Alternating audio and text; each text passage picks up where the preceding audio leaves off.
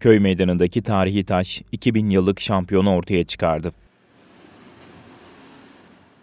Köylüler tarafından bulunup köy meydanında sergilenen taşın 2000 yıl önce Bursa sınırları içinde kurulan antik kente yaşayan 9 şampiyonluk kazanan atlet anısına inşa edildiği ortaya çıktı.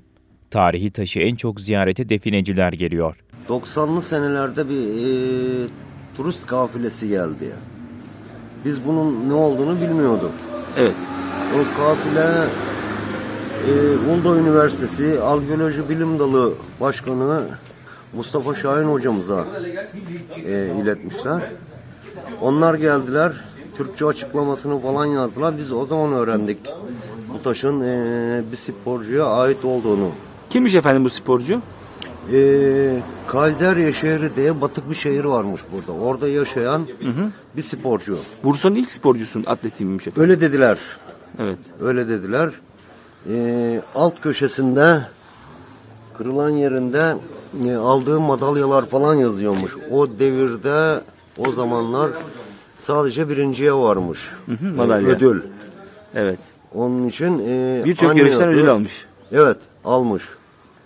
Ee, anne adı, baba adı hepsi bu taşta mevcut. Peki bu köyünüzde çıkan ilk tek tarihi eser mi bu efendim? Tek tarihi eser. O da bir sporcuya ait. Aynen Şampiyon. öyle. Bursa'nın ilk sporcusu. Evet. Görmeye gelen oluyor mu efendim? Çok bilmiyor herhalde. Görmeye gelen e, oluyor. Oluyor mu? Oluyor. Görmeye gelenler oluyor. İnceliyorlar mı? Okuyorlar. İnceliyorlar. E, şöyle e, define vardır bunun çıktığı yerde diye defineciler daha çok merak sarıyor buna. Anladım. Mudanya ilçesi Yaylacık köyünde bir köylü tarlasını sürerken büyük bir taş ortaya çıkardı. Bu taş köyün meydanına getirilip sergilenmeye başlandı. Köy meydanında duran ve kimsenin ne olduğunu bilmediği taşın sırrı ise 1990'lı yıllarda köye ziyarete gelen turist kafilesindekilerin yazıları okumasıyla anlaşıldı. Köy meydanında bulunan taşı inceleyen uzmanlar taşın üzerinde bölgede kurulan ve bugün batık konumda bulunan Karzerya şehrinde yaşayan 2000 yıl önce 9 şampiyonluk yaşamış Tatianos isimli bir sporcu anısına dikilmiş olduğu anlaşıldı.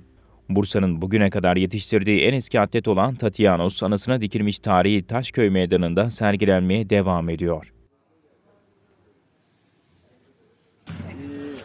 O zamanki sporcunun anısına yapılan heykel Mudanya Belediyesi tarafından.